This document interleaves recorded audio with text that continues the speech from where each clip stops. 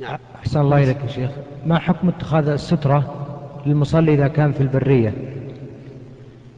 سنة لأن, لأن النبي صلى الله عليه وعلى آله وسلم كان يتخذها. كان معه عنزة تركز أمامه ويصلي إليها ولو ما اتخذ الإمام سترة هل ينكر عليه يعني؟ أو ما ينكر ما عليه؟ ينكر عليه على أن ما فعله منكر بل يرشد إلى السنة. يعني بمعنى أن لا نزعق بوجهه ونقول أنت فعلت محرما تب إلى الله من هذا؟ لا.